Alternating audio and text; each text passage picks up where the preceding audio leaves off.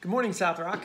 I am glad to be with you today, and we have a larger text, verses 13 through 52 of chapter 13. And so hopefully you've read that already because I just want to point out a couple things. The first is not even a full sentence, um, but at the end of verse 13 it says, Where John left them to return to Jerusalem. You know what? John Mark leaves uh, Saul and Barnabas, and there's some differing opinions as to why. But what you really need to know is in a couple chapters, there's going to be a pretty big disagreement about Mark and should they bring him again. And it all stems from this right here. So, again, I just wanted to point that out because it's something that maybe you skim over and don't realize that it's a big deal later on. The second thing I want to point out is that when I read the words here, I see that Paul and Barnabas, they they give a good gospel presentation. They say, this is what the scripture has pointed towards, and here is who Jesus is.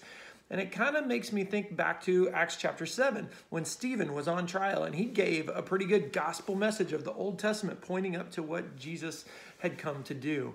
And it's just a good reminder to me that I need to make sure that I know God's story to be able to share it with people. You know, another thing that jumps out to me is that after Paul and Barnabas have shared this, the next week it talks about how, you know, almost the whole uh, city comes and gathers to hear this. Like they're excited. The gospel message has power, it has life, and people are hungry for it. And so these people come to listen you know but not everyone is appreciative of it. And you read people read about people who are ready to, to get rid of paul and barnabas and they actually do so. And in, even at that you read that they had joy even in their rejection. And so as i read this and i just think about a couple things I think number one, it is important to know what your testimony is, like what God has done in your life, so you can share that with people because people can't argue with what God has done in you. But I also think sometimes today we've gotten rid of the it's important to know God's story too. Like we need to know the history. We need to know what God has done in the past to bring us to this point. And so maybe today you should just kind of make an outline. If someone were to ask you, what would you quickly tell them that God has done like since the beginning of the world?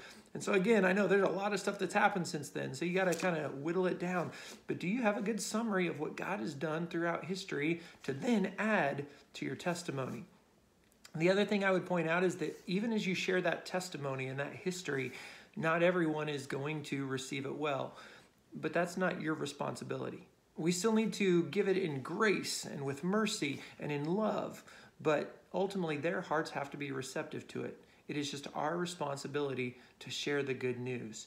So today, think about that. Think about God's story all the way up into your life, and maybe today you have the chance to share your testimony with someone and be filled with joy no matter the response. Have a great day.